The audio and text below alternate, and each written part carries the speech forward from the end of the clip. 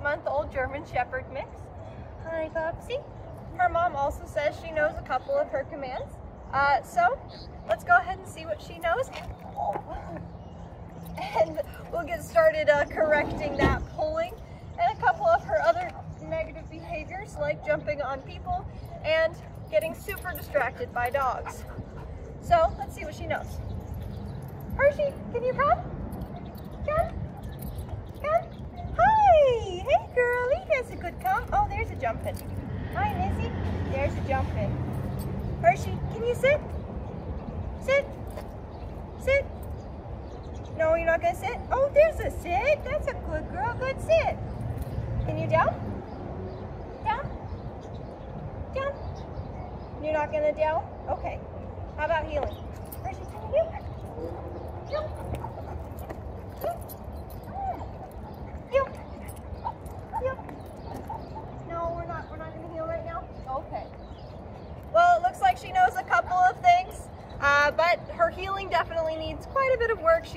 wants to pull on the leash, be underfoot.